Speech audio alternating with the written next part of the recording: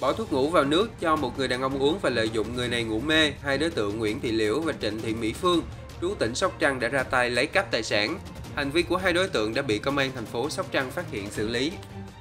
Tại cơ quan công an, hai đối tượng khai nhận do có mối quan hệ quen biết với nạn nhân, vào khoảng 10 giờ ngày 12 tháng 9, hai mẹ con Liễu và Phương cùng người đàn ông này đi ăn uống tại một quán ăn. Trong lúc ăn uống, đối tượng Liễu đã lén bỏ thuốc ngủ vào trong ly nước và cho ông này uống. Sau đó lợi dụng người đàn ông này ngủ mê, đối tượng Phương đã lấy chiếc lắc vàng 18K có trọng lượng khoảng 3 chỉ của nạn nhân. Sau đó bỏ trốn và đem đi bán được hơn 10 triệu đồng.